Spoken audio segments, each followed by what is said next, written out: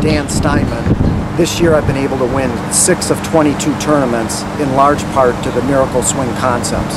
I hit the ball farther now off the tee. Used to hit it about 190 to 200, now I'm over 250 on a consistent basis. All of my shots are more consistent. The errors are few and far between, and it's driving lower scores for me. Get Golf Swing Mastery right now, and you'll soon be hitting the ball just like this.